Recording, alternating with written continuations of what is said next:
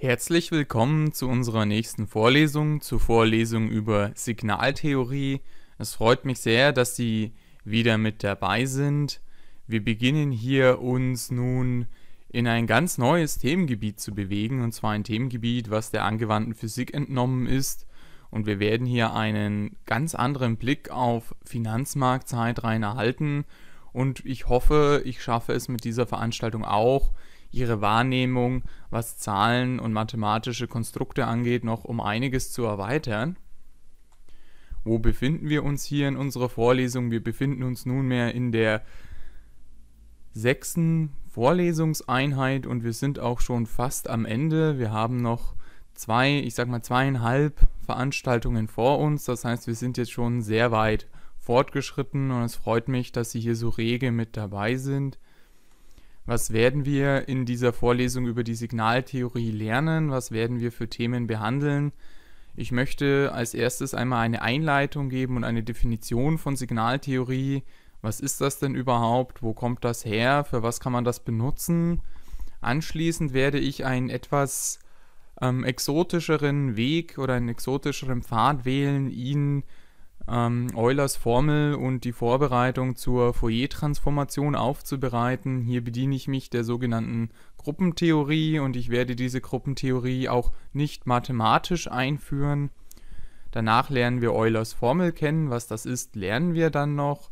Wir werden uns mit Fourier-Reihen und der sogenannten Fourier-Transformation beschäftigen. Wir werden lernen, was ist denn die Heisenbergsche Unschärferelation und werden uns letzten Endes dem Themenkomplex der Wavelets widmen. Ich möchte vorab noch einige Worte loswerden. Zum einen ist das Thema Signaltheorie wie alle anderen Themen, die wir hier in diesem Kurs behandeln, sehr umfangreich, sehr komplex und sehr tiefgreifend, nenne ich es jetzt einmal.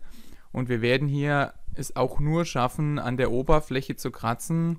Und das ist auch mein einziges Ziel, Ihnen erst einmal dieses Themengebiet näher zu bringen und ihnen ein rudimentäres Verständnis davon aufzubereiten, was man damit denn alles tun kann. Ich habe Ihnen hier wie immer im Kurs tiefgreifende Quellen und weiterführende Literatur bereitgestellt für diejenigen von Ihnen, die vielleicht direkt aus den Ingenieurswissenschaften kommen und mit den Konzepten bereits vertraut sind, als auch für diejenigen, die zum ersten Mal mit der Signaltheorie zu tun haben. Ich habe hier Anleitungen die von Grund auf neu beginnen und ich habe auch weiterführende Bücher bereitgestellt, die Ihnen einen tiefen Einblick in diese Thematik geben können.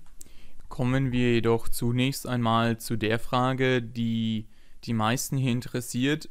Warum das denn jetzt? Also warum Signaltheorie? Für was ist das relevant? Wir wollen hier ja Data Science und Finanzmarktanalyse betreiben. Für was brauchen wir Signaltheorie? Bisher sind wir an die Finanzmärkte mit nur sehr wenigen außerordentlichen Gebieten herangetreten, sondern haben uns hauptsächlich auf stochastische Prozesse gestützt und da fasse ich die Zeitreihenanalyse einfach mal mit rein. Das heißt, wir haben mit Ausnahme der fraktalen Geometrie bisher eigentlich relativ wenige exotische Bereiche kennengelernt.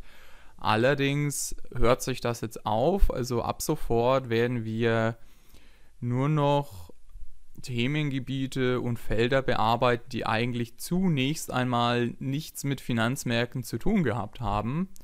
Und deswegen fangen wir in diesem Kapitel an, uns erst einmal Konzepte aus der angewandten Physik bzw. den Ingenieurswissenschaften zu entleihen und damit Finanzzeitreihen zu analysieren.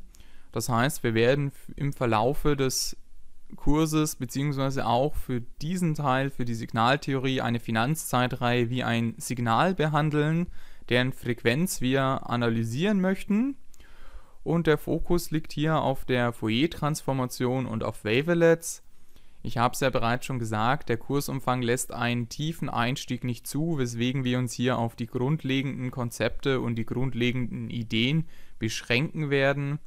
Das macht in dem Sinne allerdings nichts, weil sie dann natürlich die nötigen Quellen haben, sich tiefergehend einzulesen. Ich kann zudem nicht davon ausgehen, dass jeder Kursteilnehmer einen physikalischen Hintergrund hat und das alles schon mal gehört hat in der Tiefe. Deswegen fangen wir hier faktisch bei Null an und Wir beginnen rudimentär und beschränken uns tatsächlich auf die wesentlichen Merkmale. Ich habe es ja bereits schon gesagt, ich habe weitreichende Literatur bereitgestellt für diejenigen, die mehr wissen möchten und wie sie das Ganze dann programmatisch für sich selbst ausprobieren können. Das haben wir wie immer in der Finanzmarkt-Zeitreihenanalyse im Python-Video gezeigt und daher wünsche ich Ihnen jetzt hier viel Spaß. Bitte lassen Sie sich da wie immer drauf ein, seien Sie neugierig und wir beginnen jetzt einfach mal mit der Frage, was ist eigentlich Signaltheorie? Signaltheorie im ganz allgemeinen ist die Zusammenfassung von Verfahren und Methoden, welche zur Auswertung von sogenannten Signalen, die von beliebigen Prozessen oder Systemen erzeugt werden, genutzt bzw. angewandt werden. Das heißt in Kurzform Signaltheorie, Auswertung, Signale. Hm, macht Sinn. Was ist denn jetzt ein Signal?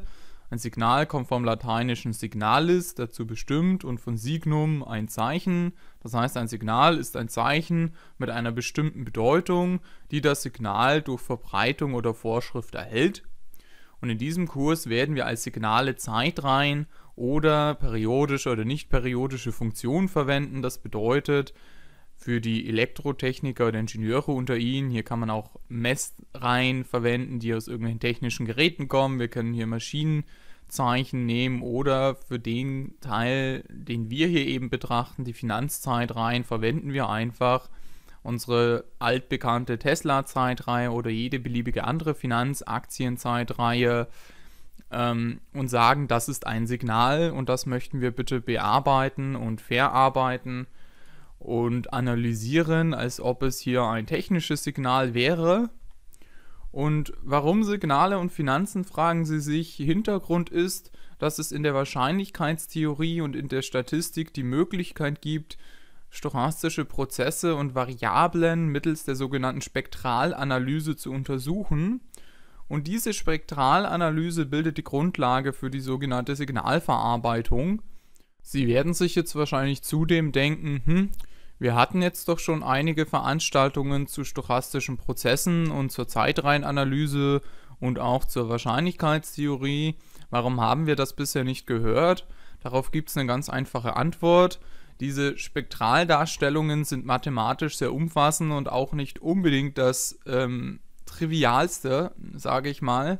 Und dieser Kurs hat eben nur einen begrenzten Umfang, deswegen habe ich das bisher ausgeschlossen und wir werden hier nicht auf beispielsweise die Spektraldarstellung von Markov- oder Levy-Prozessen eingehen. Sie sollten sich im Hinterkopf behalten, dass es das gibt, das ist möglich, aber das machen wir hier aus umfangtechnischen Gründen einfach nicht. Wie fahren wir denn jetzt fort? Ich habe das vorher so ganz salopp schon mal postuliert. Die Vermutung, welche wir in diesem Kapitel untersuchen möchten, ist, dass Finanzzeitreihen als Signal interpretierbar sind und auch als solches auswertbar ist. Das ist unsere Arbeitshypothese, die habe ich vorher einfach so in den Raum gestellt, ohne etwas dazu zu sagen. Gilt diese Annahme, also diese Annahme, die wir jetzt einfach mal treffen, Finanzzeitreihen sind als Signal interpretierbar, so kann man Informationen über die Frequenz und die Beschaffenheit des Signals gewinnen, indem man eben die Signaltheorie darauf anwendet. Und gewinnen wir Informationen, so können wir natürlich als findige Finanzanalysten diese ausnutzen und versuchen damit monetäre Vorteile durch geschickte Modellierung zu erlangen. Das ist so unser Hauptantrieb. Wir möchten gucken oder wir möchten herausfinden, Finanzzeitreihen als Signal interpretierbar, ja oder nein? Und falls ja, bekommen wir da Informationen, die sonst nicht zugänglich sind und können wir die monetär nutzen? Oder können wir die nutzen, um bessere Modelle zu bauen? Und letzten Endes geht es darum, wenn ich bessere Informationen finde und die auch noch modellieren kann, kann ich damit Geld verdienen. Wir steigen hier jetzt ein, indem wir uns mit der Gruppentheorie und Eulers Formel befassen. Und in diesem Kurs versuchen wir uns didaktisch einmal an einer nicht standardisierten Herangehensweise. Das heißt, wir werden hier keine mathematische Einführung in die Gruppentheorie machen und wir werden auch keine direkte Einführung in Eulers Formel machen und ich werde auch einen anderen Ansatz wählen, Ihnen die Fourier-Reihen und die Fourier-Transformation darzustellen, wie das, was Sie in einer Standardvorlesung gewohnt sind. Ich orientiere mich hier an einem YouTube-Video von 3 Blue 1 Brown Channel, der das mathematisch, grafisch, visuell dargestellt hat. Da können Sie gerne auf YouTube auch einmal schauen. Ich bin da ganz transparent, dass ich mich daran orientiere.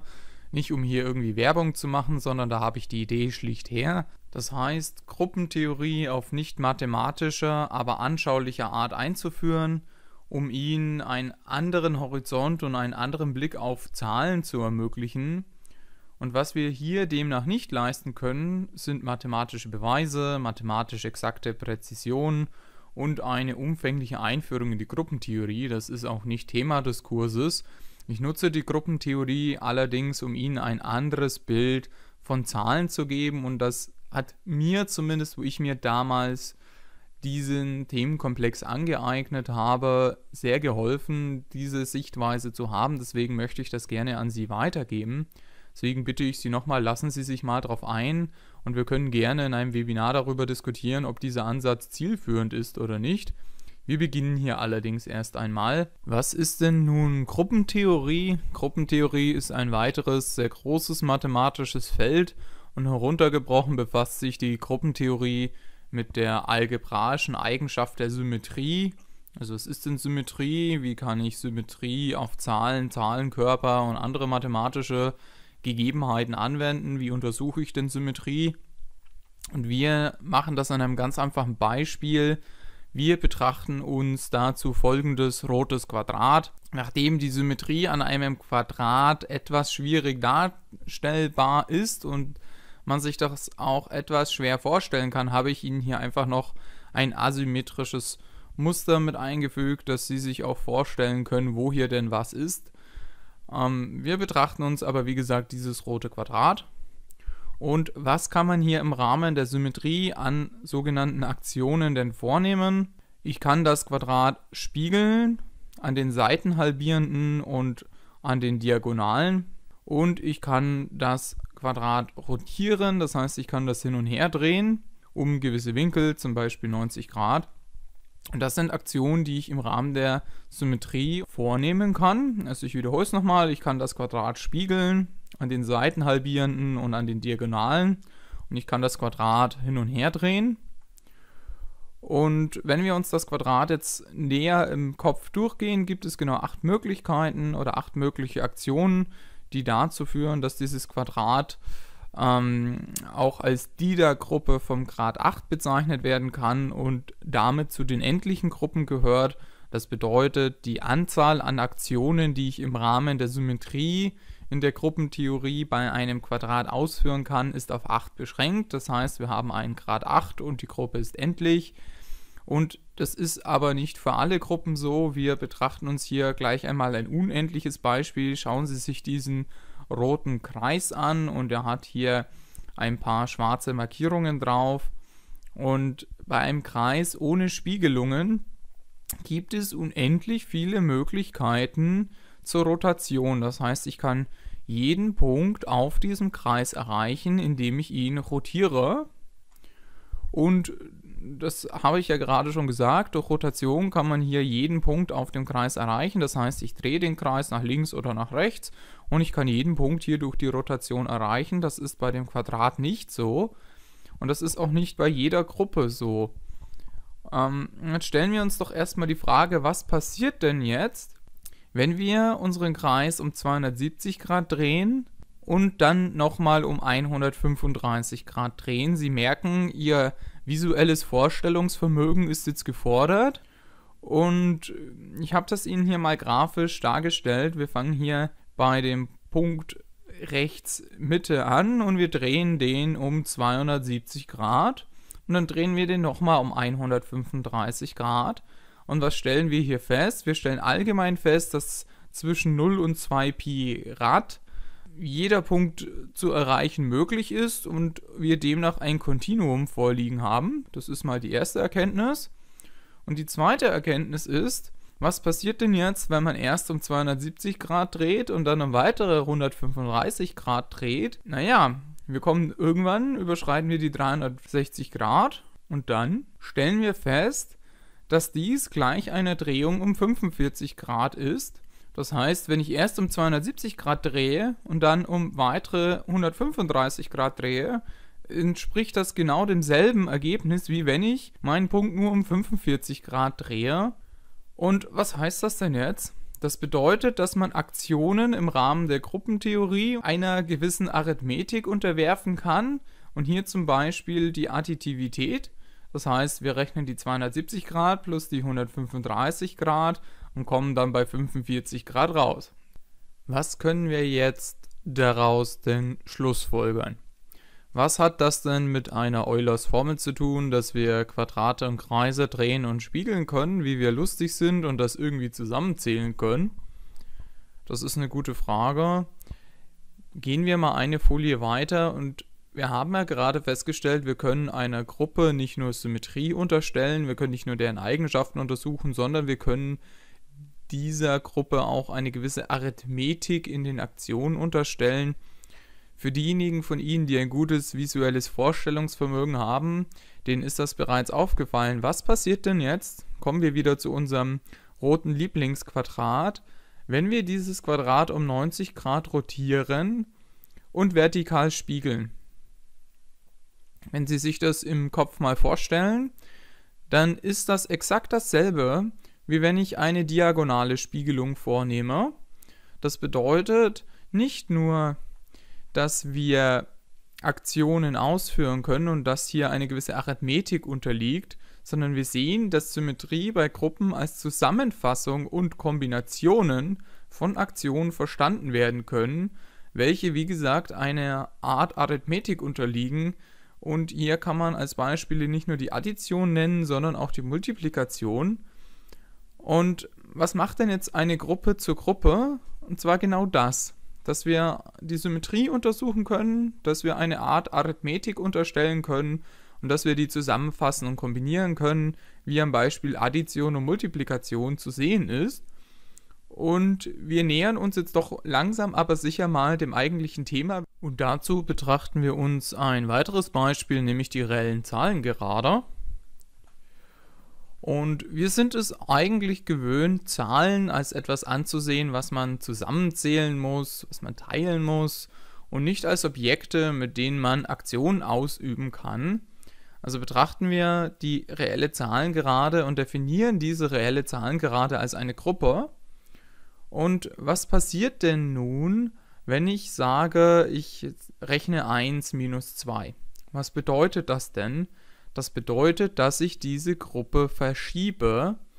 Und zwar so verschiebe, dass sich hier meine 1 auf die minus 1 verschiebt. Das heißt, ich habe das hier mal mit zwei Zahlen geraden abgebildet, aber effektiv verschieben wir und rotieren und drehen und dehnen wir diese Gruppe so, dass aus der 1 eine minus 1 wird, nachdem wir hier eben die Arithmetik der Addition eben ausführen dürfen. Auf dieser reellen Gerade, die ich Ihnen gerade gezeigt habe, kann man einem Punkt folgen, indem man ihn hin und her schiebt. Eine Verschiebung um drei Einheiten vom Punkt 0 an und eine weitere Verschiebung um fünf Einheiten kann dann als Addition aufgefasst werden, also 0 plus 3 plus 5 ist 8. Und dies liefert uns ein neues Verständnis, wie man denn Zahlen betrachten kann und wie Gruppen miteinander interagieren. Also es klingt sehr trivial, wenn ich hier sage, 3 plus 5 ist 8.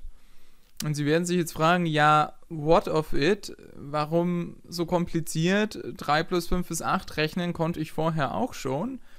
Aber wenn wir nun diese Zahlen gerade als Gruppe betrachten und wir die Interaktion zwischen diesen Gruppen ansehen, sind die Zahlen keine Zahlen mehr, sondern mathematische Objekte, denen wir im Verständnis eine Aktion zuordnen können, quasi mit denen wir Aktionen ausüben können. Und Sie werden später noch erkennen, warum ich diesen Zugang so intuitiv finde. Bleiben wir aber erstmal bei der reellen Zahlengerade und betrachten uns doch mal Potenzen. 2 zum Quadrat ist 2 mal 2, und 2 hoch 3 ist 2 mal 2 mal 2. Und wenn wir jetzt sagen 2 zum Quadrat plus 2 hoch 3 ist dann eben 2 mal 2 mal 2 mal 2 mal 2. Und aus den Potenzrechenregeln wissen wir, dass wir hier die ähm, Exponenten einfach zusammenzählen können. Also 2 hoch 2 plus 3 ist 2 hoch 5. Und wir haben eben hier dieses bekannte Gesetz, was ich unten hier noch dargestellt habe. Ich denke, das ist jedem klar und das klingt intuitiv. Potenzen sind ja multiplizieren. Das ist das, was wir in der Analysis gelernt haben, was wir in der Schule gelernt haben und ich denke, was uns der ein oder andere Dozent und Professor an einer Hochschule ebenfalls schon zu Genüge, ich sag's mal, reingetrichtert hat. Potenzen sind Multiplikation. Aber diese intuitive Auffassung stößt in unserer Vorstellung her an seine Grenzen, wenn wir jetzt zum Beispiel Terme betrachten wie 2 hoch 1 Drittel, 2 hoch minus 1 oder wenn wir in die komplexen Zahlen wandern, und das werden wir gleich auch noch, wenn wir zum Beispiel sagen 2 hoch i. Da ist diese Intuition, Potenzen sind ja multiplizieren, ein bisschen schwierig. Also ich persönlich tue mir da schwer, mir das als Multiplikation vorstellen zu können.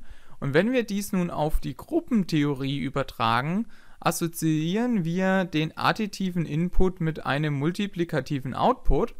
Und das heißt, die Gruppe hält hierbei ihre Struktur konstant und die Strukturerhaltung hier nennt sich auch Homomorphismus, falls Sie das schon mal gesehen haben. Das heißt, wenn ich jetzt diese Kreuzfunktion xy habe, dann kann ich das auch als f von x mal f von y schreiben. Und worauf möchte ich denn jetzt eigentlich raus? Warum stelle ich Ihnen das so in dieser Detailtiefe denn vor? Fangen wir mal an. Addition ist somit eine Verschiebung um x Einheit nach links oder nach rechts, während wir eine Multiplikation als Dehnung oder Stauchung ansehen können. Ich habe Ihnen hier nochmal unsere reellen Zahlengeraden mitgebracht und ich möchte jetzt 1 halbieren. Ja, das heißt, ich nehme den Punkt 1 und stauche ihn so lange, bis er auf der Höhe von 1,5 sitzt. Das heißt, ich kann die Addition und Multiplikation in unserer intuitiven Vorstellung auch als Verschiebung, Dehnung oder Stauchung eines mathematischen Objektes verstehen, und zwar so, dass die Elemente anderweitig aufeinander zeigen. Im Rahmen der komplexen Zahlen betrachten wir das sogar noch als Rotation auf dem Einheitskreis, das sehen wir gleich aber noch. Das heißt, bei der reellen Zahlengerade können wir dehnen, stauchen und verschieben. Und wenn wir uns in dem Bereich der komplexen Zahlen bewegen, können wir die Rotation als Aktion ansehen. Ja? Und bevor wir aber hier auf irgendwelchen komplexen Einheitskreisen rotieren, das machen wir nachher noch zur Genüge, rotieren wir erstmal noch ein bisschen langsamer und fangen erst einmal an und beachten uns die komplexe Zahlenebene, bevor wir erklären, bevor wir überhaupt darauf eingehen können, für was braucht man denn komplexe Zahlen. Das mag für die Ingenieure unter Ihnen jetzt vielleicht mäßig interessant sein, aber wie ich es eingangs schon gesagt habe, kann ich nicht davon ausgehen, dass meine komplette Audienz hier aus Ingenieuren besteht. Deswegen kommen wir doch mal langsam aber sicher zum interessanteren Teil, komplexe Zahlen und Euler. Was hat denn jetzt diese Gruppentheorie, die ich jetzt doch etwas länger eingeführt habe, mit Eulers Formel zu tun und was bringt mir das für die Signaltheorie? Betrachten wir uns hier doch als erstes mal die komplexe Zahlenebene. Was komplexe Zahlen denn nun genau sind, für diejenigen, die das nicht kennen, da kommen wir noch drauf. Wir werden da allerdings nicht in die Tiefe einsteigen. Für diejenigen von Ihnen, die denken, negative Wurzeln kann man nicht berechnen, man kann es, das geht.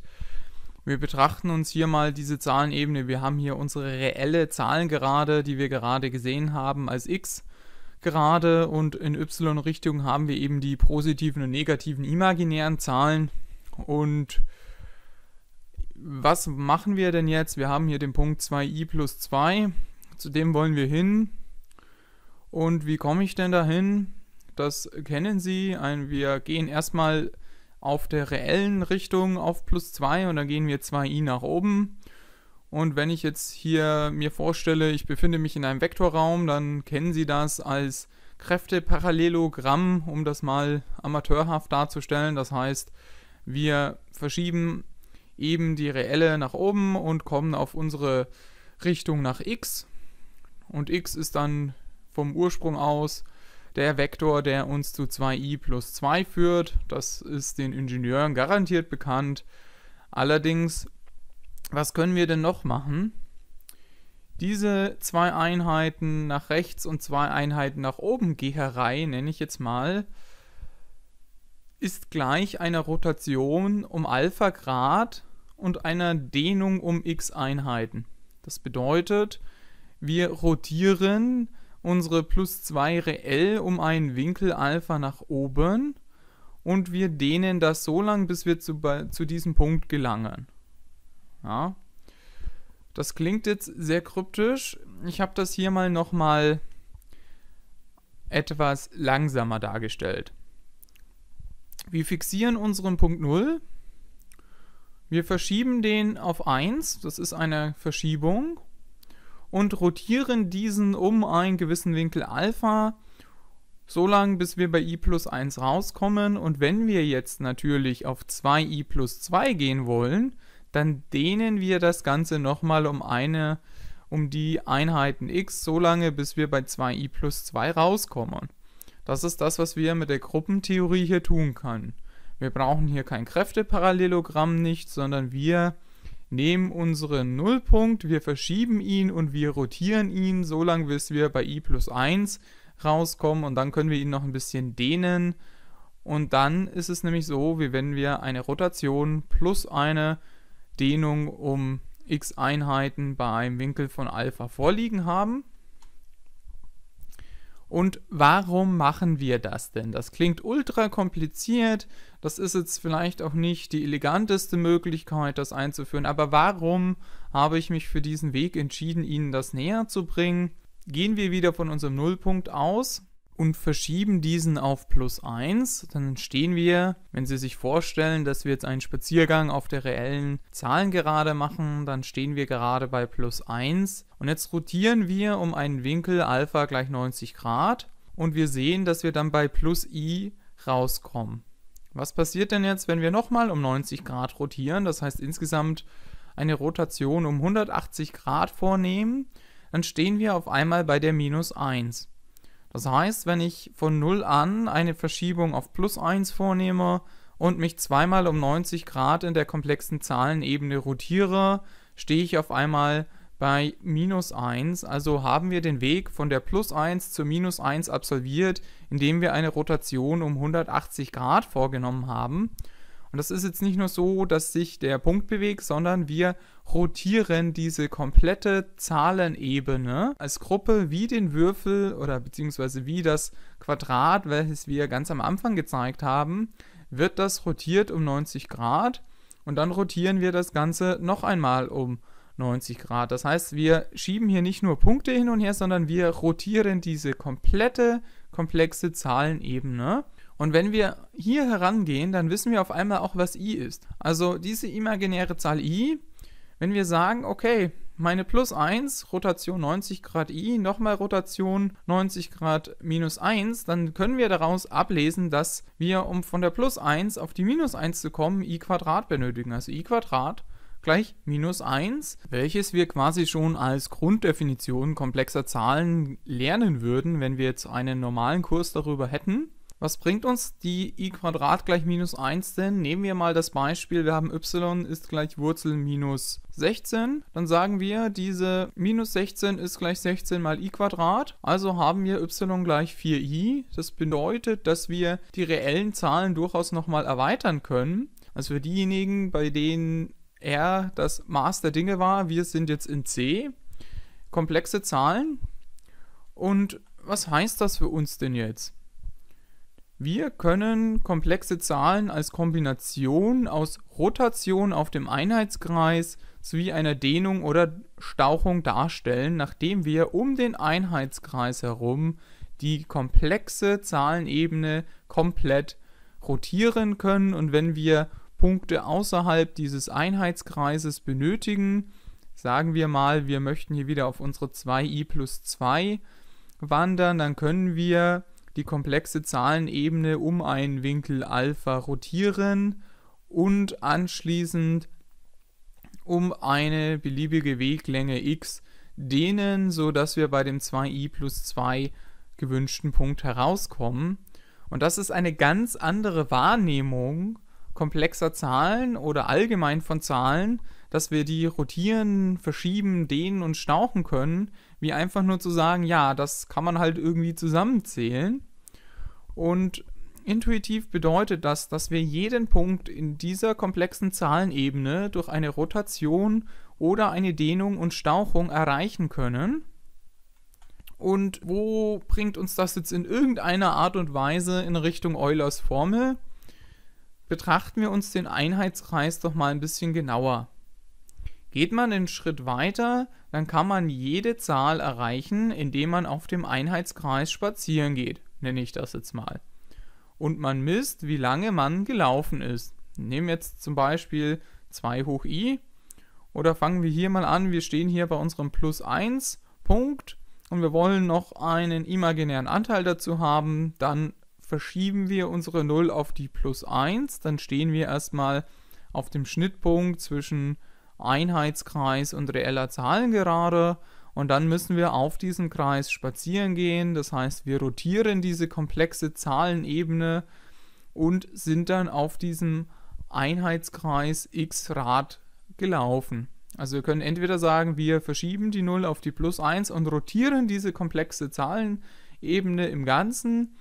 Wir können das aber auch vereinfacht so darstellen, dass wir bei plus 1 stehen und wir spazieren jetzt auf diesem Einheitskreis so lange, bis wir bei unserem gewünschten Punkt rauskommen, um x Rad. Nehmen wir nun als Basis der Potenzfunktion die Eulersche Zahl e.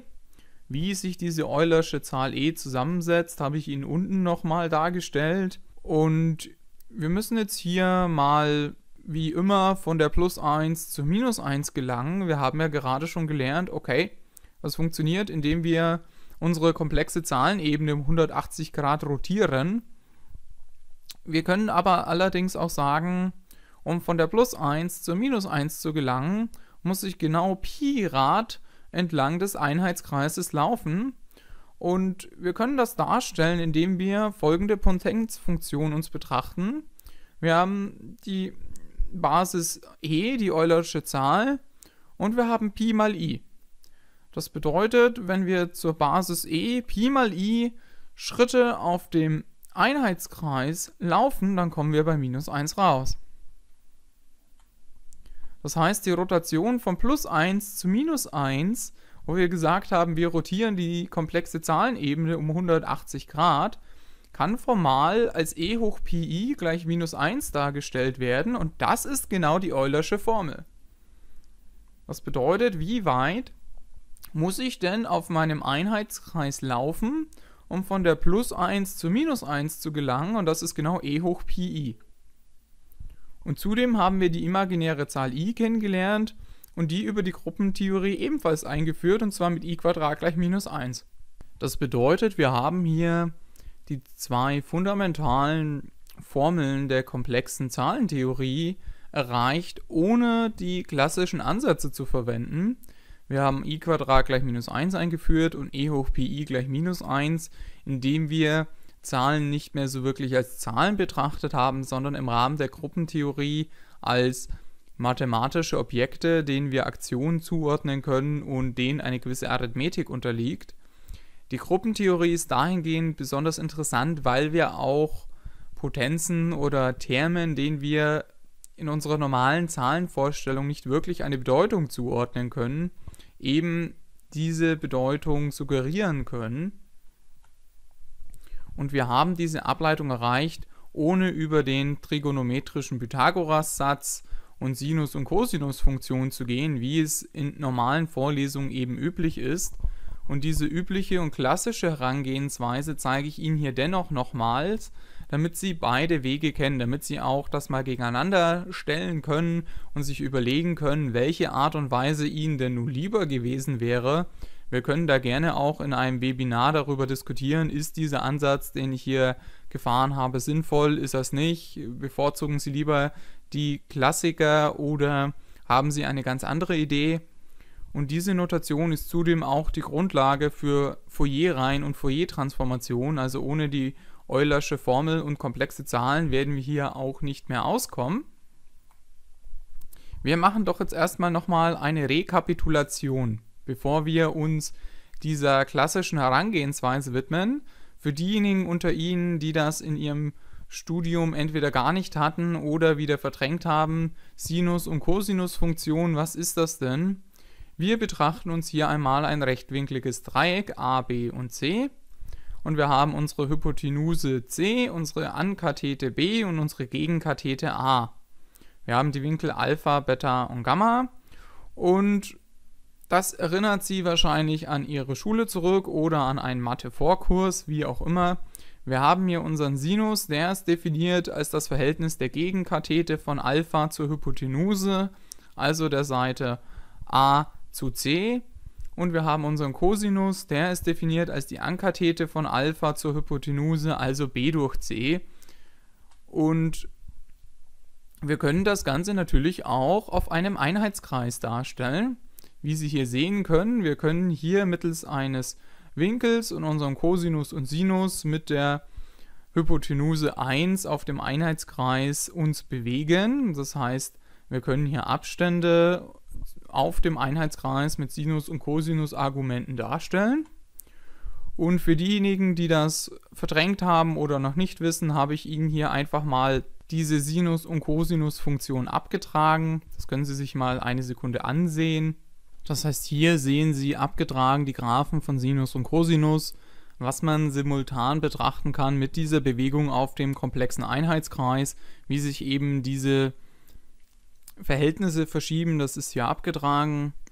Und als trigonometrischen Pythagoras wird die Entität Sinus Quadrat von Alpha plus Cosinus Quadrat von Alpha gleich 1 bezeichnet. Das habe ich Ihnen hier nochmal aufgetragen grafisch, damit Sie sehen können, wie man da drauf kommt.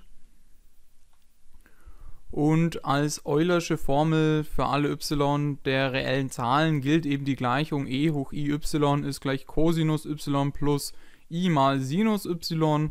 Wie man da drauf kommt, sehen wir hier. Wir haben hier unseren Cosinus, das ist die Richtung auf der reellen Zahlenebene oder auf der reellen Zahlengeraden. Eine Ebene ist es in diesem Fall ja nicht. Und wir sehen, dass der Sinus hier in die imaginäre Richtung zeigt. Deswegen ist der Wert, den der Sinus hier ausgibt, eine imaginäre Zahl oder der imaginäre Teil dieser Zahl. Deswegen steht hier i Sinus y mit dabei und wie weit wir jetzt eben auf diesem Einheitskreis gelaufen sind, um zu diesem Punkt da oben zu kommen, ist eben Cosinus des Winkels plus i Sinus des Winkels, damit wir sehen können, Cosinus nach rechts, Sinus nach oben. Und das ist eben die normale Formel hier dazu. Und wenn wir jetzt natürlich diese Formel e hoch i y gleich Cosinus y plus i Sinus y nehmen und für y einfach mal Pi einsetzen, dann ist es so, dass wir e hoch i pi plus 1 gleich 0 haben und das ist äquivalent eben zu e hoch i pi gleich minus 1, also auch unsere Eulersche Formel. Was Sie hier als klassische Herangehensweise gerade aufgezeigt bekommen haben. Sie können sich jetzt natürlich Gedanken machen, was Ihnen in Ihrer Vorstellung natürlich einfacher fällt, eine Rotation der gesamten komplexen Zahlenebene oder eben den Weg über Sinus- und Cosinus-Funktionen. Auf jeden Fall sind die zwei Herangehensweise äquivalent, weil wir am Ende bei unserer Eulerschen Formel e hoch i pi gleich minus 1 herauskommen. Wir steigen hier jetzt auch direkt ein in das Themengebiet Fourier-Reihen und Fourier-Transformationen. Bedenken Sie, dass ich das Ganze ohne Vorwissen aufgesetzt habe. Das heißt, das wird hier keine Profi-Ingenieursveranstaltung mit hochanspruchsvollen Formulierungen und tiefgehender Mathematik. Das machen wir jetzt hier einfach mal nicht, sondern ich muss ja davon ausgehen, dass sie alle keinen physikalischen Hintergrund haben. Deswegen machen wir erstmal auch noch eine kurze Wiederholung. Was ist denn eigentlich eine Frequenz? Die Ingenieure unter Ihnen werden jetzt vielleicht leicht schmunzeln. Ich gehe aber wie gesagt davon aus, dass sie keinen physikalischen Hintergrund haben und dass sie da kein Vorwissen haben. Die Frequenz kommt vom lateinischen frequentia und bedeutet Häufigkeit und ist ein Maß dafür, wie schnell bei einem periodischen Vorgang die Wiederholungen aufeinander folgen.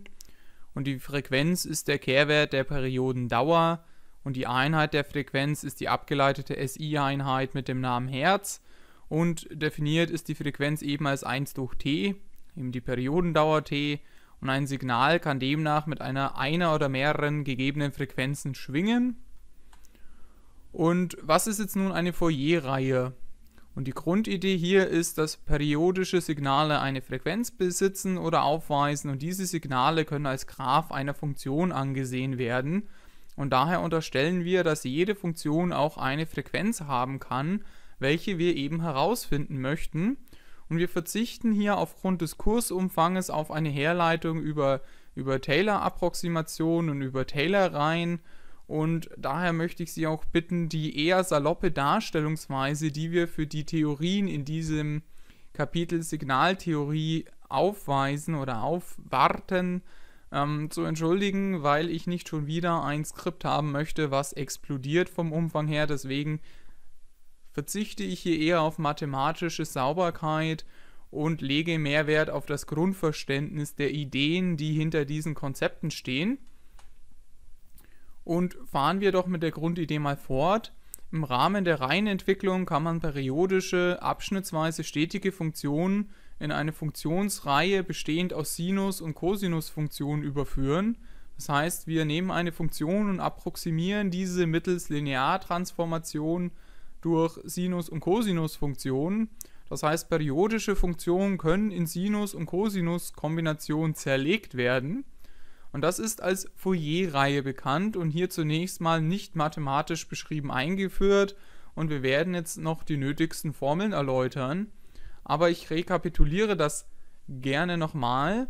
Wir haben eine periodische abschnittsweise stetige Funktion und es ist uns möglich, diese mittels einer Lineartransformation mit Sinus- und Cosinusfunktionen darzustellen.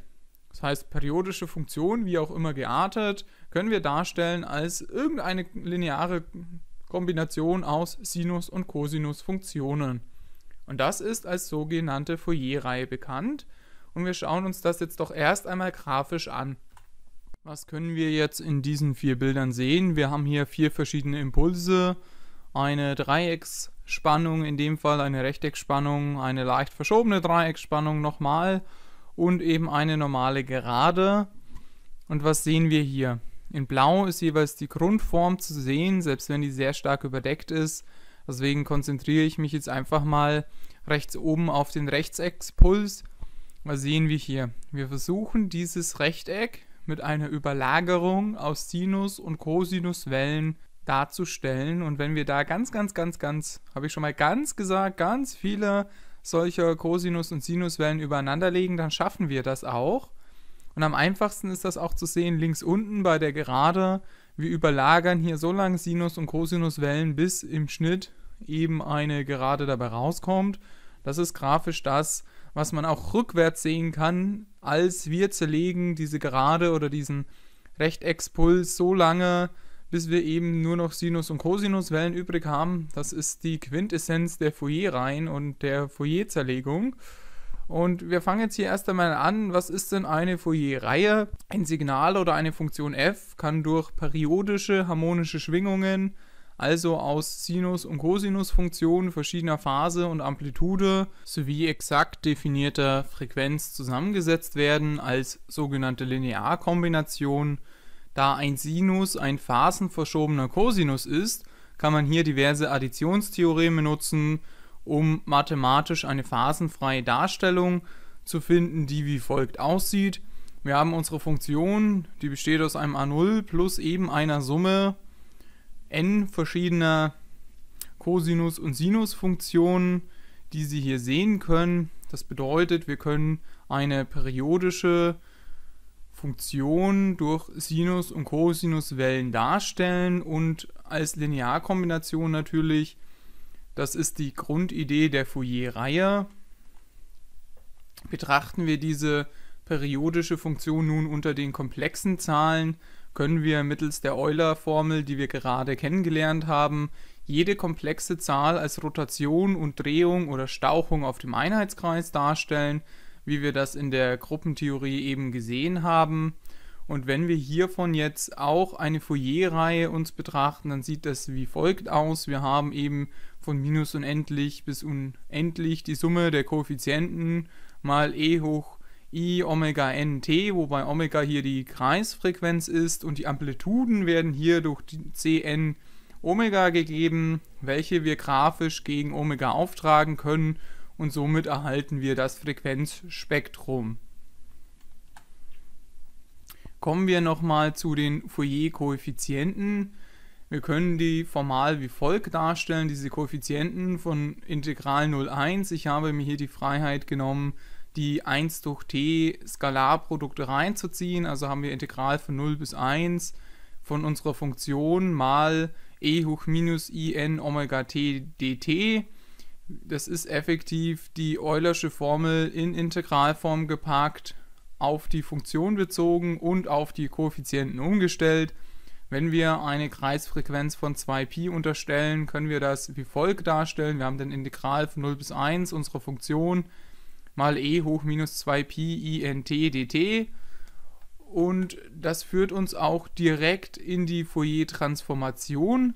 Die Fourier-Transformation interessiert uns deshalb, weil wir ja nicht unbedingt die Frequenz kennen. Wir haben ja vorher bei der Fourier Reihe gesehen, dass es bitte eine exakt definierte Frequenz sein möge. Wenn wir jetzt irgendein Signal haben, dann wissen wir ja prinzipiell erstmal noch nicht, was für Frequenzen in diesem Signal denn enthalten sind, um überhaupt eine Reihe bilden zu können. Und deswegen können wir die Fourier-Transformation dahingehend nutzen, Informationen darüber zu unterhalten, welche Frequenzen denn in einem Signal enthalten sind und aus welchen Frequenzen sich eine gewisse Funktion oder ein Signal zusammensetzt. Darüber sprechen wir als nächstes. Bevor wir hier jedoch einsteigen, und nachdem das jetzt etwas schnell ging, hätte ich gesagt, wir springen nochmal einen Schritt zurück und wiederholen nochmal die Fourier-Reihe, damit das auch jeder hier nachvollziehen kann. Wir haben ein Signal oder eine Funktion f und diese kann eben durch periodische Schwingungen, also Sinus- und Cosinusfunktion verschiedener Phase, Amplitude und exakt definierter Frequenz als Linearkombination zusammengesetzt werden.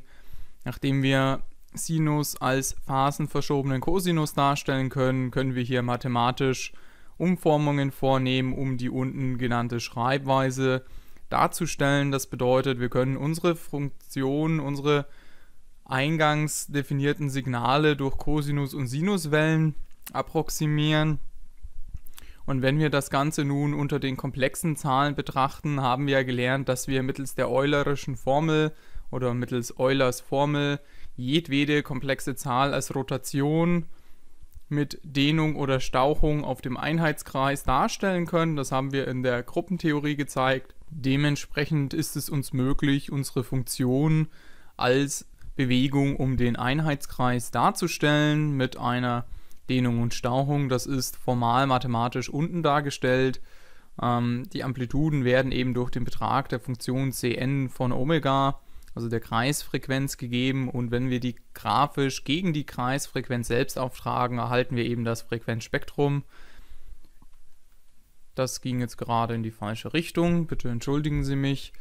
Ähm, betrachten wir nun die Koeffizienten, also nicht mehr, wie können wir die Funktion darstellen, sondern die Koeffizienten selbst, müssen wir das mathematisch umformen und wie Sie die Koeffizienten, also die Amplituden selbst berechnen können, das sehen Sie hier.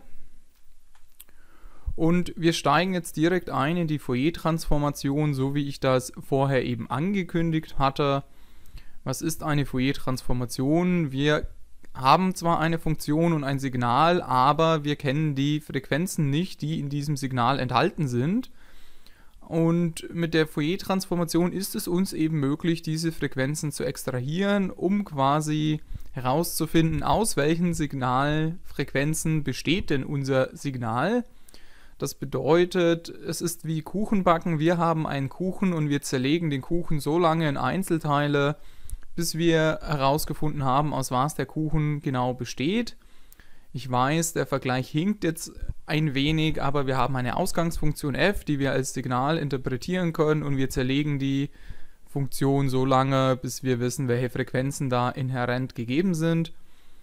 Ähm, besitzt eine Funktion f die Periode t, so sind die Kreisfrequenzen Omega k ein Vielfaches der Grundfrequenz 2pi durch t. Das heißt, wir können unser Omega k als k mal 2 Pi durch t darstellen.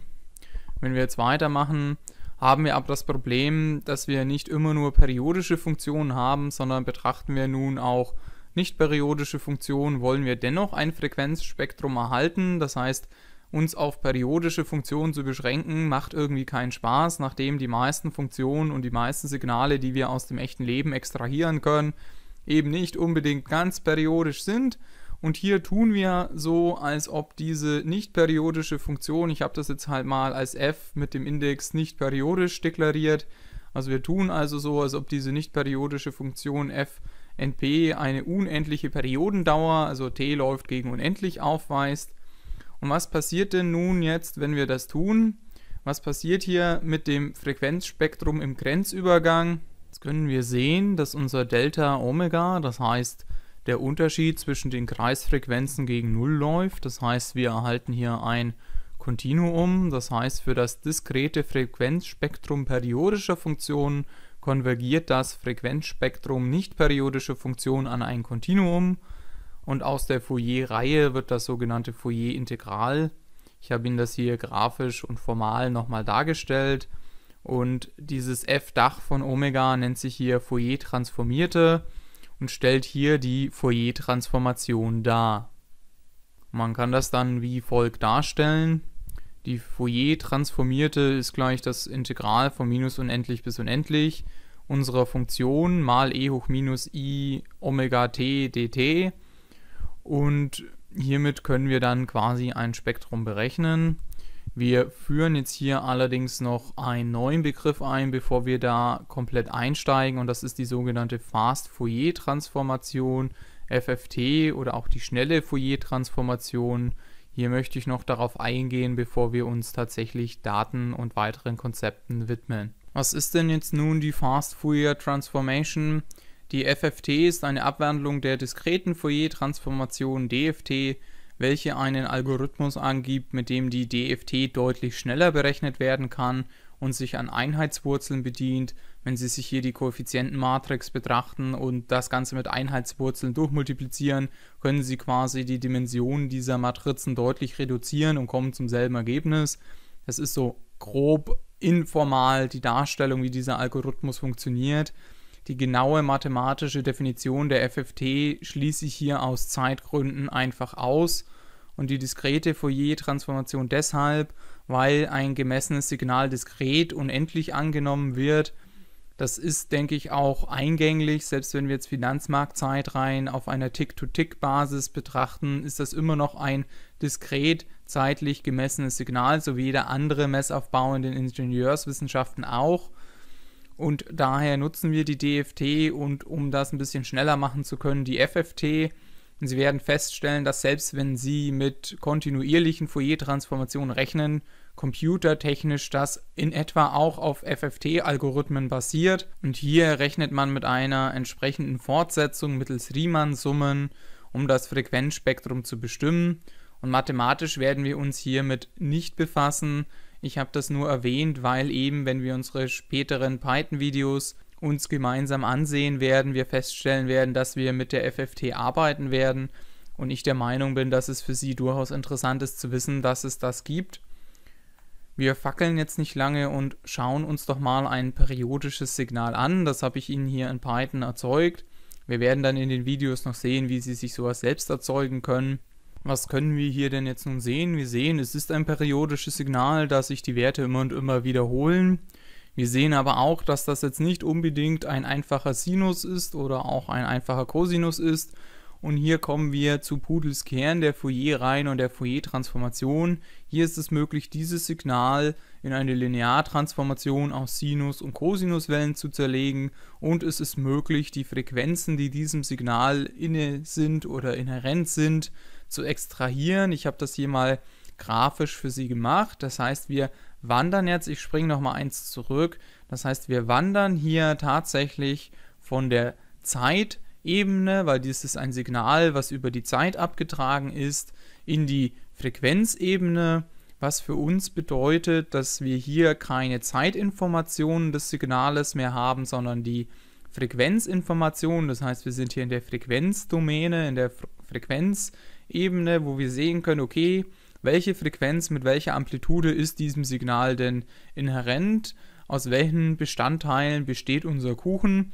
Und wir sehen hier, wir haben hier eine ganz niedrige Frequenz mit, äh, ich glaube es war 13er Amplitude, wir haben hier dann eine 5er Frequenz mit, mit, mit 10er Amplitude und so weiter. Das können Sie hier an den Peaks sehen. Und natürlich sind Sie dann, wenn wir den Python-Code haben, in der Lage, sich selbst solche Signale zu erzeugen und die dann entsprechend zu zerlegen. Und dann sehen Sie hier die einzelnen Frequenzen und die einzelnen Amplituden. Das ist der Sinn der Übung, weil, ich springe nochmal eins zurück, wenn wir uns dieses Signal so ansehen, werden bis auf diejenigen von Ihnen, die sich sowas im Kopf mal schnell überlegen können, ähm, wahrscheinlich wenige sagen können, aus welchen Frequenzen sich dieses Signal nun zusammensetzt. Und mittels der Fourier-Transformation können wir diese Frequenzinformation eben extrahieren und uns betrachten. Das heißt, wir wissen, aus welchen Frequenzen zu welcher Amplitude besteht unser Signal.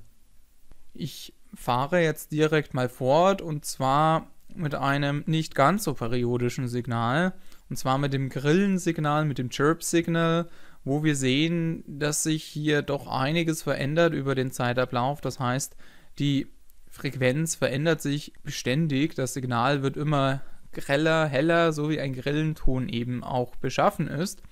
Und was passiert denn nun mit unserer Fourier-Transformation, wenn wir dieses Grillensignal, dieses nicht periodische Grillensignal unserer Fourier-Transformation füttern. Wir sehen wieder, dass wir Frequenzinformationen enthalten und wir sehen auch Amplitudeninformationen.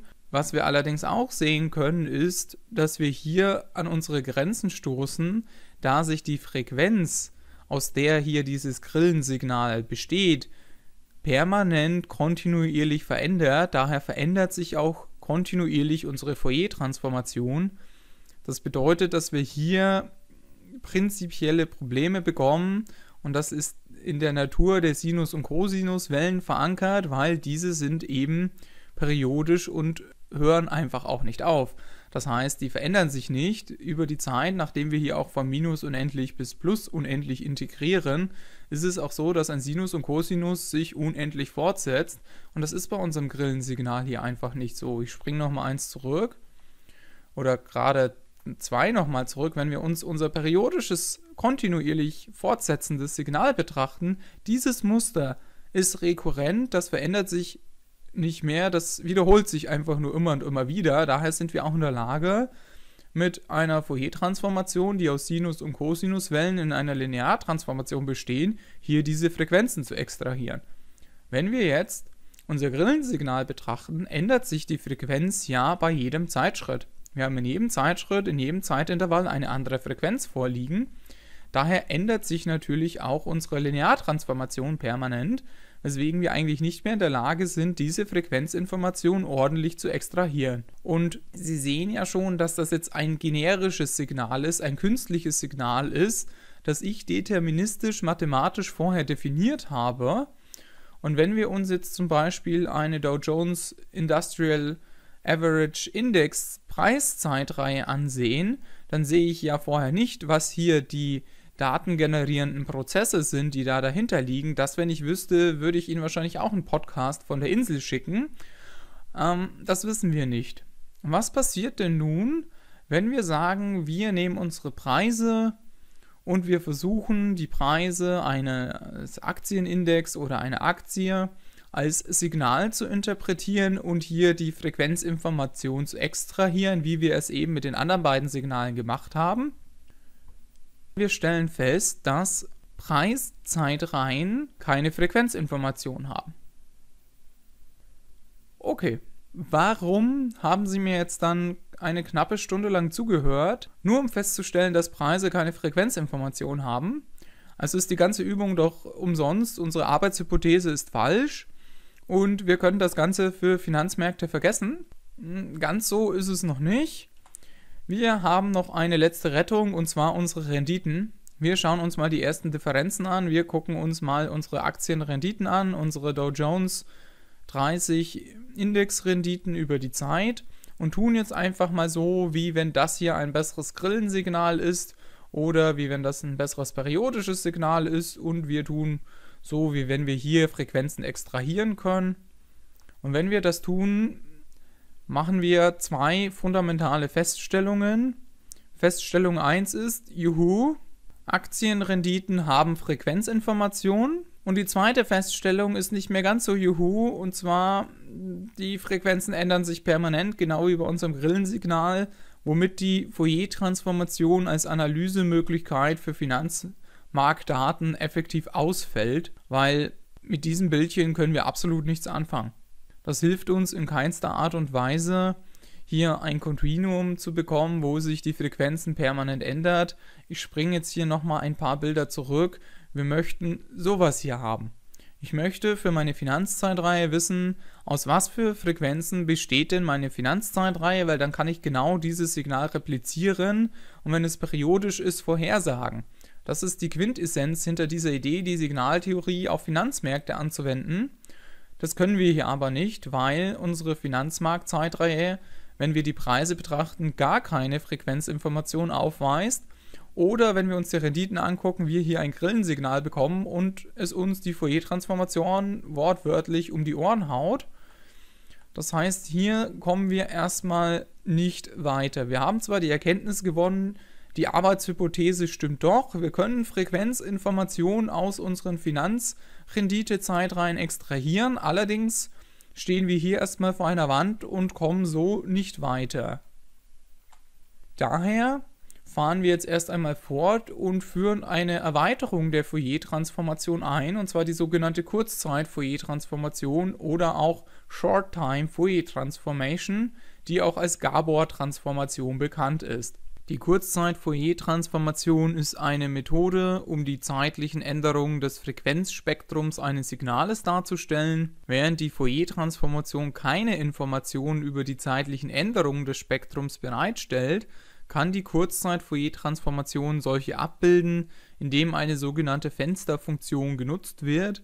Was heißt das jetzt? Wir haben ja gesehen, die Fourier-Transformation zeigt mir nur, dass sich die Frequenz permanent ändert, aber diese Information, dass die Frequenzen sich verändern über einen Zeitraum, kann die Fourier-Transformation so nicht abbilden. Und die Kurzzeit-Fourier-Transformation nimmt eine sogenannte Fensterfunktion.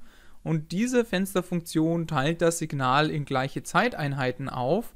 Und wir tun dann quasi so, wie wenn die Zeit innerhalb dieses Fensters wieder periodisch ist und die können wir dann mit einer normalen Fourier-Transformation zerlegen und dann zusammenbauen. Das zeigt uns das erste Mal eine Auflösung in der Frequenz-Zeitebene, sogenannte Resolution. Und das ist ein Punkt, bei dem verbleibe ich jetzt erstmal kurz.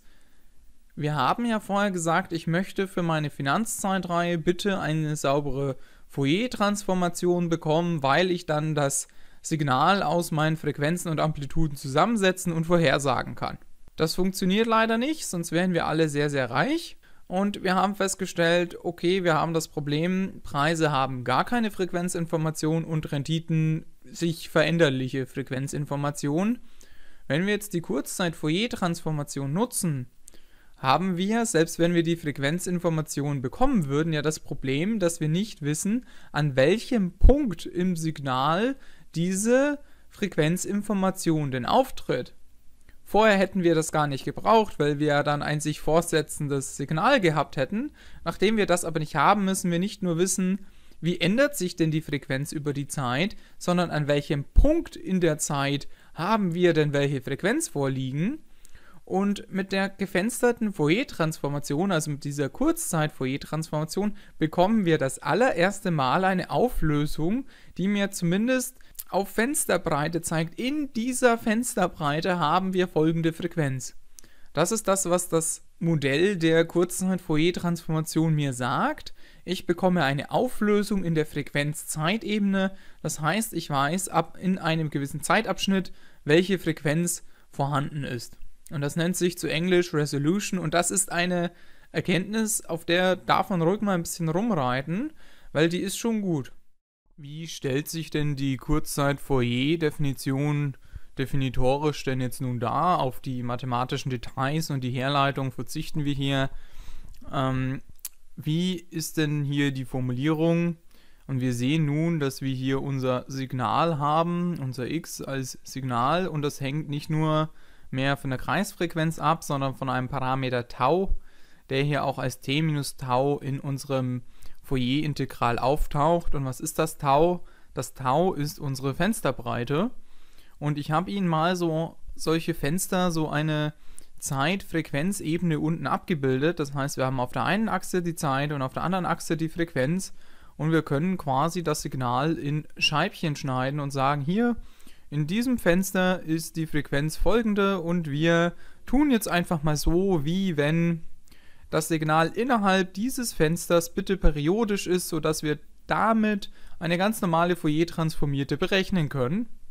Und wir testen das jetzt gerade mal. Ich habe Ihnen hier mal ein Trägersignal geplottet und ganz viel Rauschen dazu gepackt. Also wir haben hier irgendwo eine Frequenz drin, die uns interessiert und der Rest ist Noise, der Rest interessiert uns nicht. Und wenn wir nun diese gefensterte Fourier-Transformation berechnen, et voilà, und wir sehen das Trägersignal und wir sehen auch die Rauschfrequenzen außenrum, aber wir sehen hier über die Zeit, welche Frequenz hier im Signal inhärent ist. Das heißt, wir sehen nicht nur die Frequenz selbst, sondern wir sehen das Signal über die Zeit abgetragen und das ist schon gar nicht so schlecht. Sowas, wenn wir für unsere Finanzzeitreihen ebenfalls bekommen würden, wäre das schon mal nicht schlecht. Da könnten wir damit anfangen, damit könnten wir arbeiten.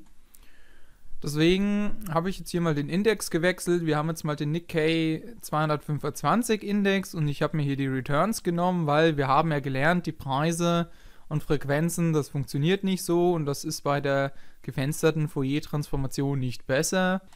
Und wir sehen hier, die normale Fourier-Transformation sagt mir zwar, wir haben Frequenzinformationen, aber wirklich da Erkenntnisse daraus ziehen können wir nicht.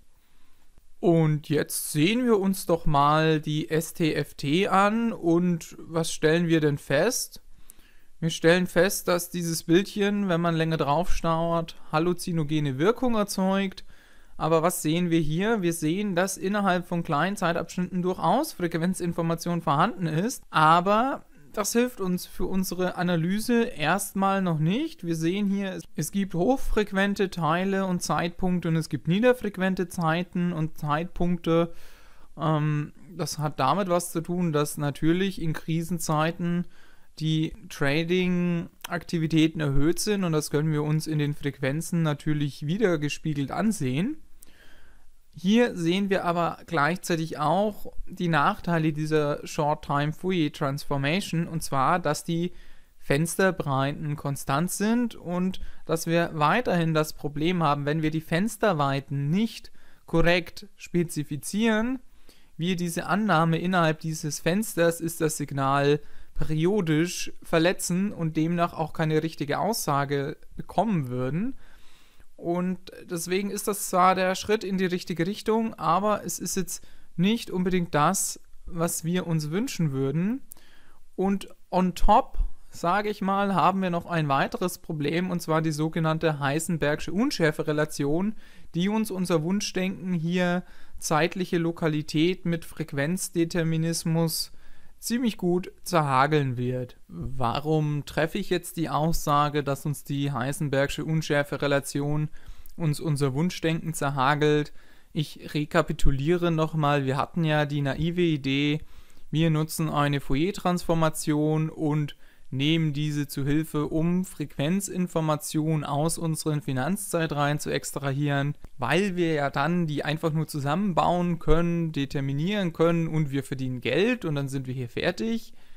Da haben wir festgestellt, nein, das funktioniert nicht, da sich die Frequenzen einer Finanzreihe genau wie die des Grillensignales permanent verändern. Die haben eine Dynamik und wir sind dann hergegangen und haben uns die Kurzzeit-Fourier-Transformation zur Hilfe genommen und haben gesagt, gut, dann schneiden wir eben unsere Zeitreihe in verschiedene Breiten, also in verschiedene gleiche Breiten und tun so, wie wenn das Stück, was wir da rausschneiden, wieder periodisch ist und zerlegen das mit einer normalen Fourier-Transformation, nur um dann festzustellen, dass wenn wir diese Fenster nicht ordnungsgemäß spezifizieren, wir diese Annahme verletzen können und wir eben, wenn wir diese Scheibchen kleiner machen, Probleme bekommen. Das sehen wir gleich noch. Und wenn wir die Scheibchen zu groß machen, die Annahmen verletzen. Das heißt, da sehen wir zwar, ey, es gibt unterschiedliche Frequenzen in unseren Finanzzeitreihen, aber um unseren Ruhestand vor 30 noch zu gewährleisten, reicht das halt irgendwie auch nicht.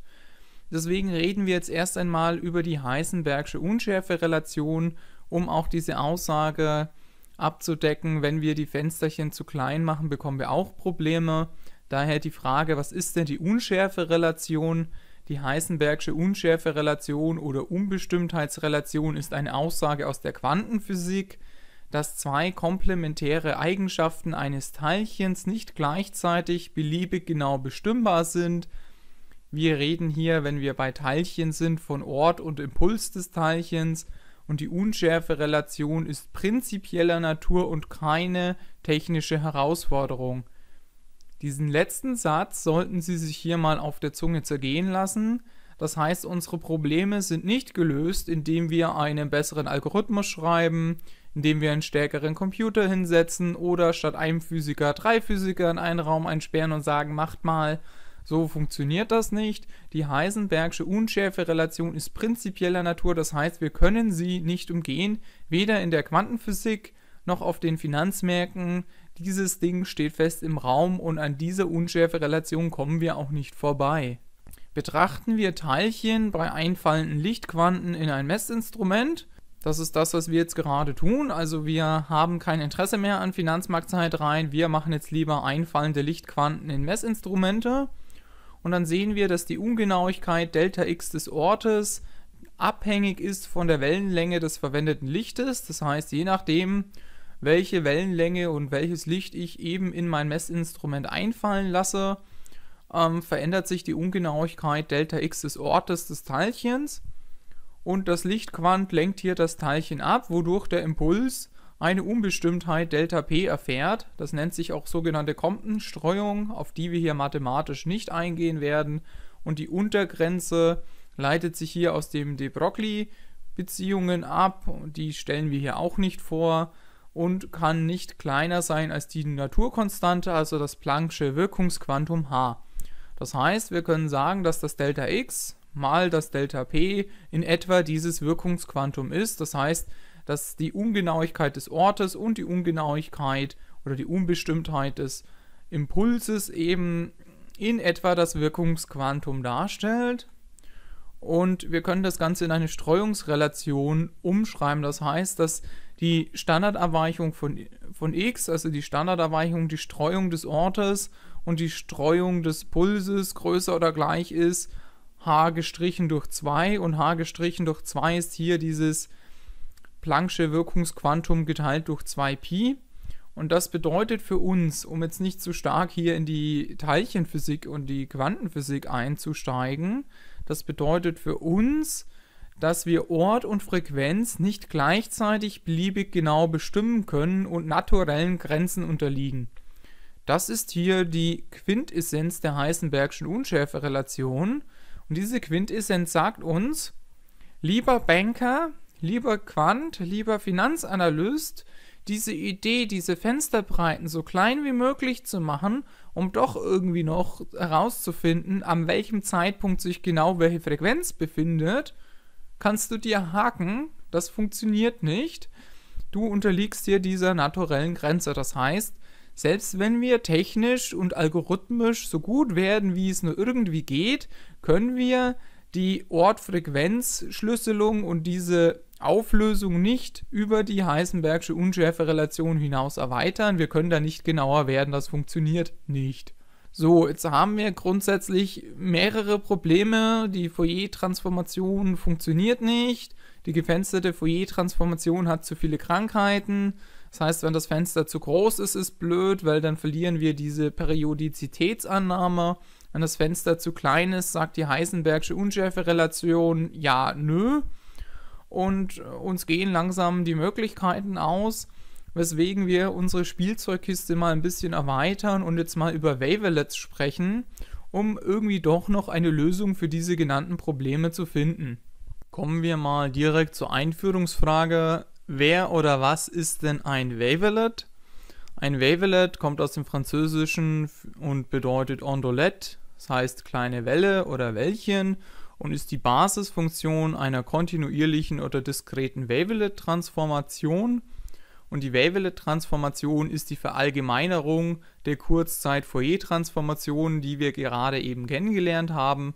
Die Wavelet-Transformation behält jedoch die Lokalisierungseigenschaft unter Berücksichtigung eben der Heisenbergschen Unschärferelation auch in der Zeitebene bei, während das bei der Fourier-Transformation vollständig verloren geht, wo sich die Wavelet-Transformation von der Kurzzeit-Fourier-Transformation, die ja eben auch Zeit und Frequenzinformation bereitstellt, unterscheidet. Das lernen wir jetzt im Folgenden. Bevor wir jedoch anfangen, nachdem ich ja für den gesamten Kurs Signaltheorie weniger Mathe und mehr visuelle Wahrnehmung auf die Agenda geschrieben habe, schauen wir uns doch als allererstes mal Wavelets an. Was ist denn ein Wavelet? Wir können hier unterscheiden zwischen stetigen und diskreten Wavelets, wobei man die auch ineinander überführen kann. Schauen wir uns das doch mal an und wir sehen hier, das sind tatsächlich Wellchen, die sind lokal begrenzt und was die für Eigenschaften haben, sehen wir gleich noch. Ich gebe Ihnen mal 10 Sekunden, sich das anzusehen. Wie wir diese Wavelets plotten werden, zeige ich Ihnen dann in den Python-Videos.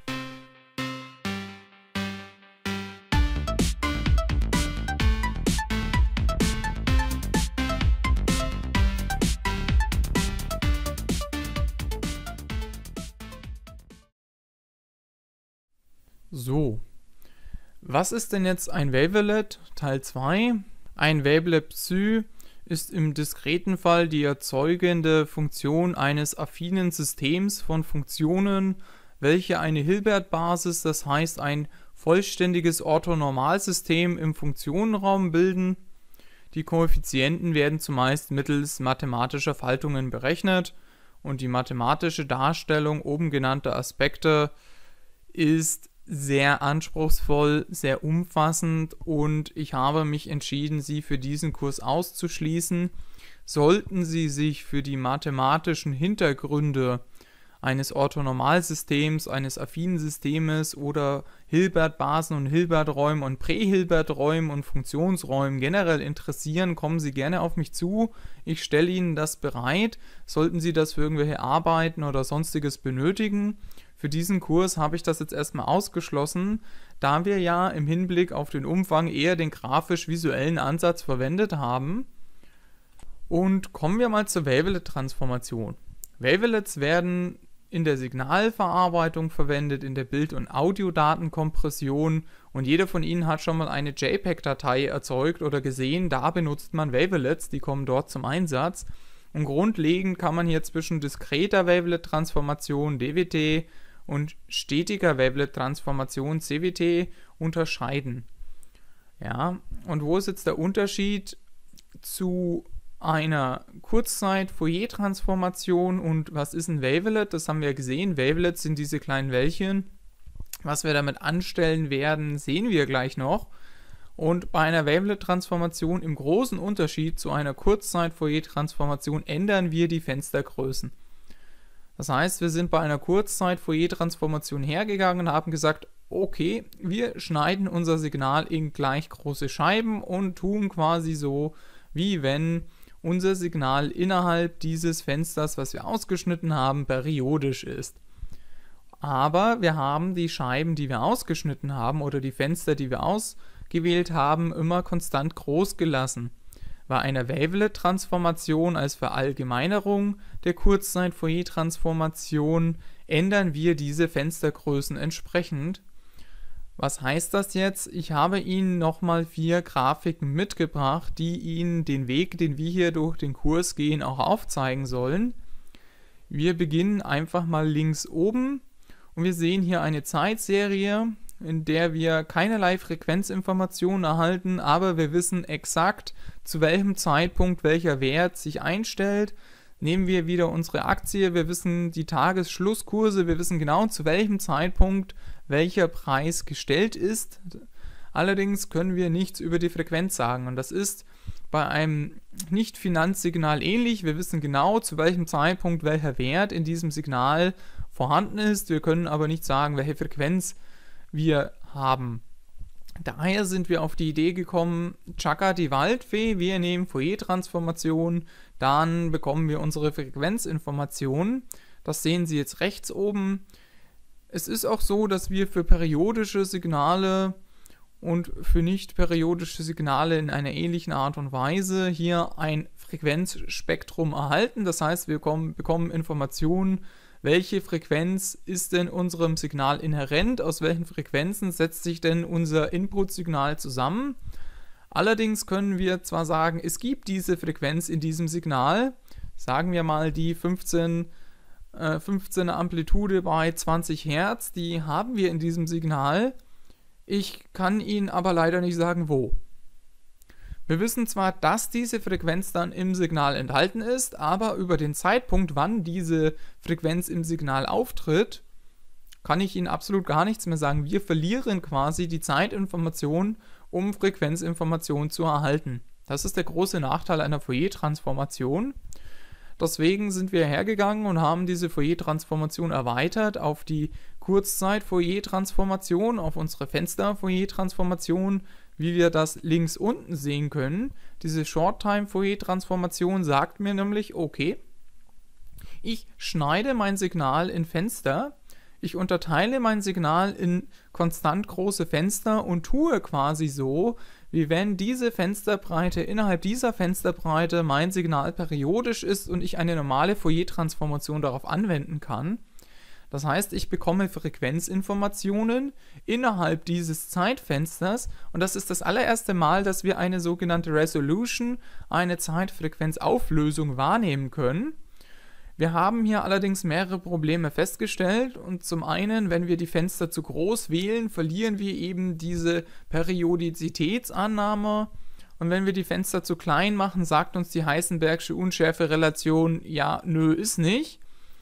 Deswegen gibt es hier diese Erweiterung, die sogenannte Wavelet-Transformation, in der wir diese Fenstergrößen oder Fensterbreiten variieren.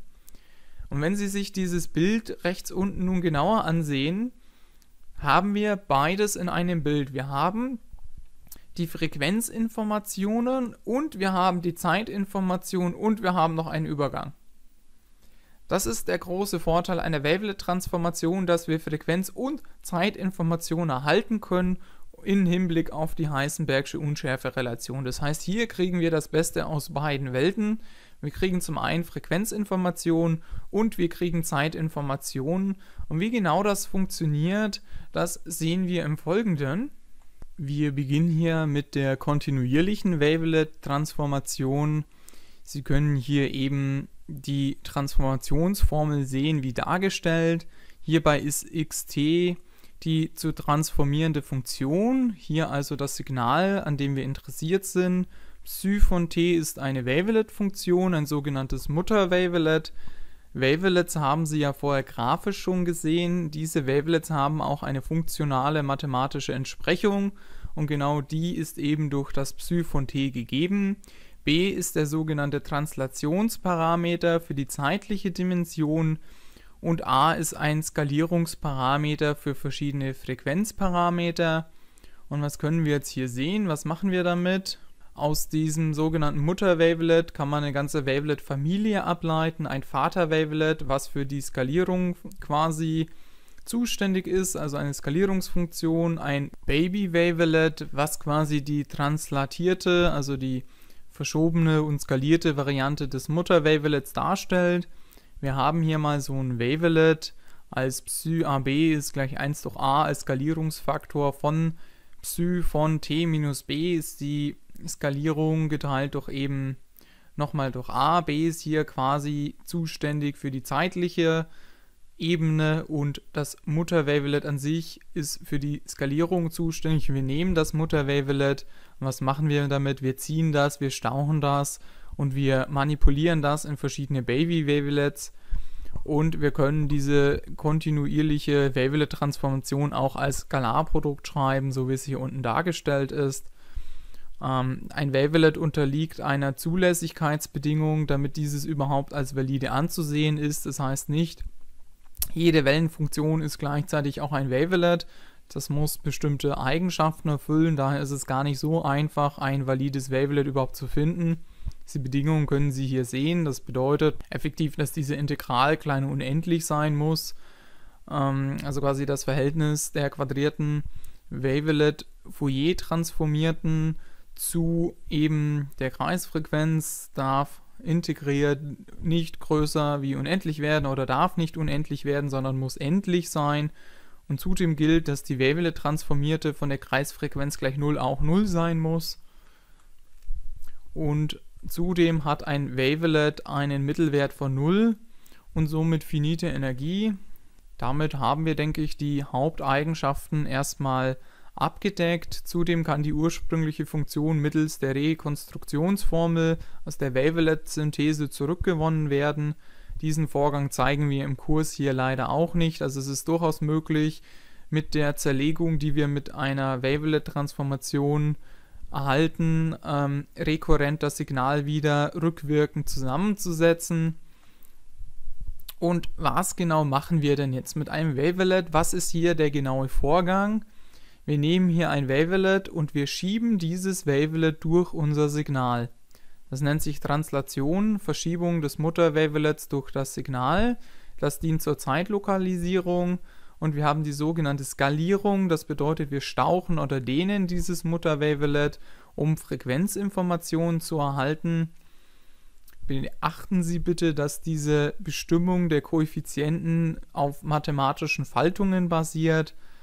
Was können wir hier noch dazu sagen? Diese Fenstergrößen, die wir wählen, haben eine Fläche ungleich 0. Das bedeutet, dass wir die Fenstergrößen nicht gegen 0 laufen lassen können, wie ich es bei der Kurzzeit-Fourier-Transformation schon angesprochen habe. Das liegt an der Heisenbergschen Unschärferelation. Das heißt, wir können hier nicht beliebig genau werden. Das funktioniert nicht. Und obwohl wir hier die Höhe und die Breite des Fensters verändern, bleibt die Fläche jedoch konstant das ist noch eine Eigenschaft, die wir hier mitgeben sollten. Und ich fasse das nochmal zusammen. Wir haben ein Signal und wir nehmen ein Wavelet und wir schieben das durch unser Signal durch. Danach nehmen wir das Wavelet, ziehen das ein bisschen länger oder stauchen das zusammen und wiederholen diesen Vorgang immer und immer wieder. Und demnach bekommen wir ein entsprechendes Spektrum raus, was eben diesen differierenden Fenster Breiten und Höhen entspricht. Was gibt es zudem noch zu sagen? Das haben wir hier noch gar nicht so dargestellt. Wir führen auch einen neuen Begriff ein, der der sogenannten Skalen. Wenn wir sehr niedrige Skalen haben, haben wir hohe Frequenzen, das heißt Frequenzinformation. Und wenn wir sehr hohe Skalen haben, haben wir niedrige Frequenzen. Das heißt, da sind die Frequenzen länger. So, wir gehen mal her und schauen uns das in der Praxis an. Ich habe Ihnen hier nochmal die Tesla Rendite-Serie mitgebracht und ich habe Ihnen auch eine geometrische Brownsche Molekularbewegung mitgebracht, weil was ich Ihnen ja noch schuldig bin, ist die Erklär Erklärung, wo kann ich denn jetzt unterscheiden eine geometrische Brownsche Molekularbewegung und eine Aktie. Wie kann ich das Ganze denn unterscheiden? Und wir beginnen hier als erstes einmal nochmal festzustellen, dass die Renditeausschläge der echten Finanzzeitreihe wesentlich größer sind wie die der simulierten geometrischen Brownschen Molekularbewegung. Wir werden jetzt aber auch nacheinander eben diese Renditeserien zerlegen mittels einer Wavelet-Transformation und uns hier entsprechend die Ergebnisse ansehen, wir werden uns zuerst die Ergebnisse, die Zerlegung der kontinuierlichen Wavelet-Transformation für die echten Daten ansehen und anschließend diejenigen der gebrochenen Brownschen Molekularbewegung. Lassen Sie das nächste Bild einfach mal auf sich wirken. Ich gebe Ihnen dazu einige Momente.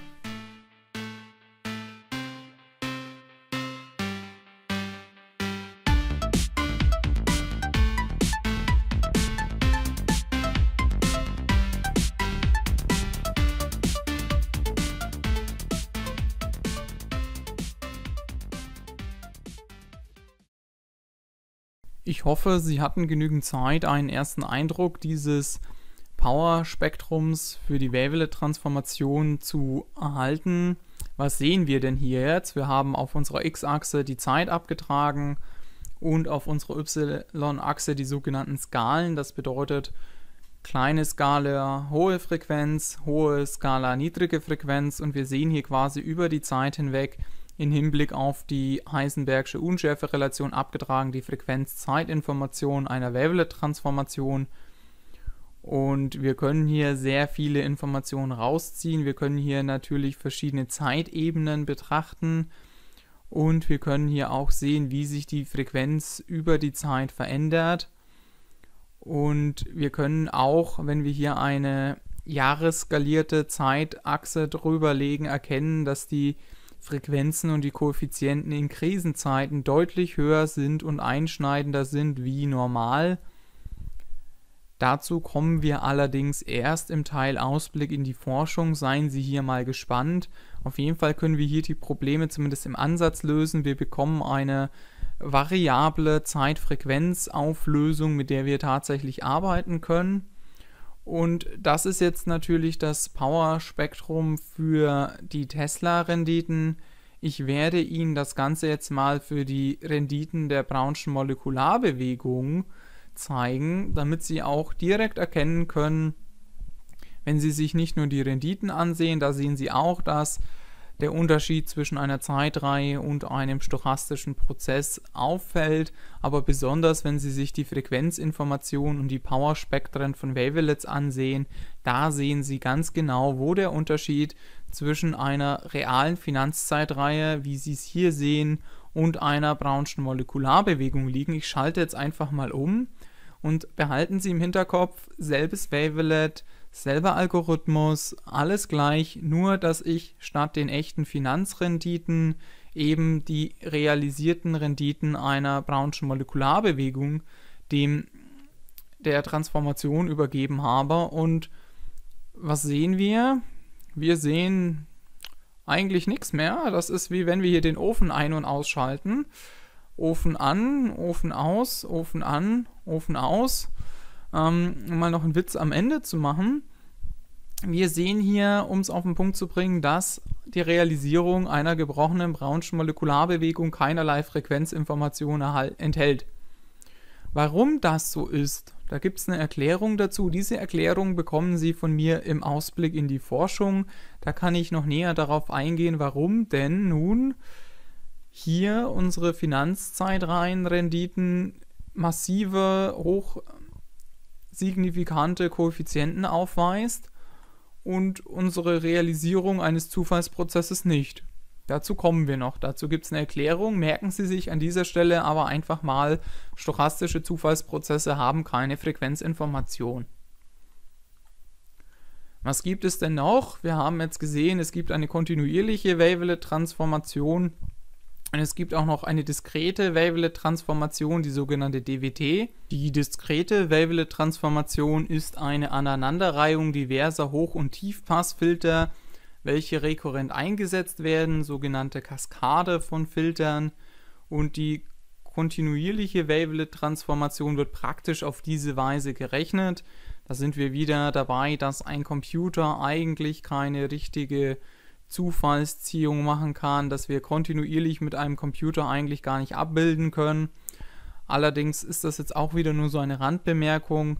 Analog zu stochastischen Prozessen ist es hier möglich, diskrete in kontinuierliche Wavelets respektive Wavelet-Transformationen umzuwandeln.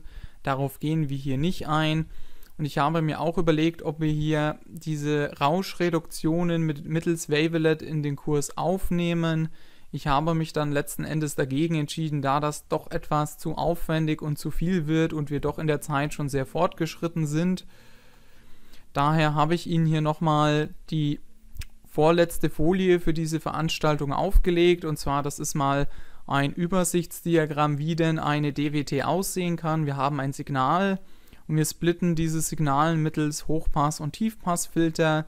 Der Hochpassfilter gibt uns hier die sogenannten Approximationskoeffizienten, währenddessen uns der Tiefpassfilter die Detailkoeffizienten liefert und dieser Tiefpassfilter, was da rauskommt als Ergebnis, wird wieder in einen Hochpass- und Tiefpassfilter gesplittet und so weiter. Deswegen haben wir auch den Begriff der Kaskade in den Raum gestellt Und wenn wir das immer und immer weiter betreiben, können wir auf verschiedenen Leveln eben dieses Signal zerlegen. Und da kommen wir auch zur letzten Folie der Veranstaltung. Ich bin hier nochmal auf das Chirp-Signal zurückgesprungen. Das ist das, was wir ganz am Anfang der Veranstaltung gesehen haben und habe dieses Grillensignal einmal mit einer diskreten Wavelet-Zerlegung ähm, auseinandergenommen, um es mal salopp auszudrücken, und zwar auf fünf verschiedenen Leveln. Und dann sehen wir hier auch in Rot die Approximationskoeffizienten des Hochpassfilters und wir sehen rechts die Detailkoeffizienten in Grün des Tiefpassfilters und so können wir sehen, wie dieses Signal denn auf unterschiedlichen Ebenen beschaffen ist und da können Sie auch sehr interessante Analysen damit machen. Damit sind wir eigentlich mit der Vorlesung am Ende. Ich hoffe, Sie haben einiges mitnehmen können. Ich hoffe, Sie haben was gelernt. Ich hoffe, ich habe Sie zu Ideen angeregt und ich hoffe, dass ich auch Interesse geweckt habe, sich tiefer mit diesen Konzepten auseinanderzusetzen. Das Feld der Wavelets ist sehr ansprechend, ist sehr groß und ist sehr komplex zu teilen. Wir werden die Wavelets im Teil in dem Ausblick in die Forschung nochmal auffassen und da werde ich nochmal detaillierter auf einige Anlagestrategien, Konzepte und Möglichkeiten der Wavelets eingehen. Bis dahin wünsche ich Ihnen alles Gute und bedanke mich für Ihr Beisein.